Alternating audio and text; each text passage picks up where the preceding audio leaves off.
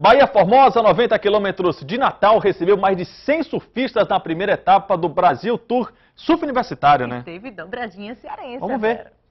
Um paraíso, que o diga a cearense Rafaela Bahia, surfista e estudante de turismo.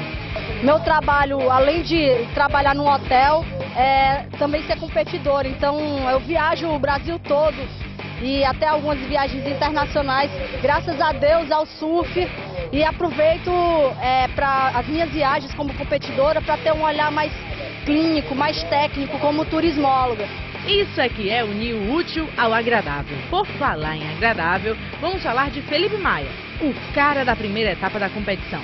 Com belas manobras, ele faturou o título na categoria Open, a principal do evento. Com essa onda aí, ó, de um metro, o cearense conseguiu a melhor nota, 9,25. A batalha só começou, tem mais duas etapas aí e eu garanto para vocês que eu vou continuar me preparando, me focando, me disciplinando para que nas próximas etapas eu venha sair vitorioso de novo e ser, me sagrar campeão do circuito. E o segundo lugar ficou com outro cearense, Marcos Otávio.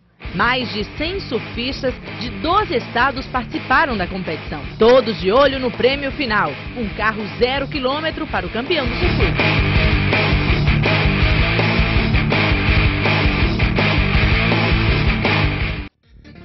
onda boa, isso aqui é prêmio. A próxima etapa será em Balneário Barra do Sul, em Santa Catarina. No próximo mês o Globo Esporte vai estar por lá.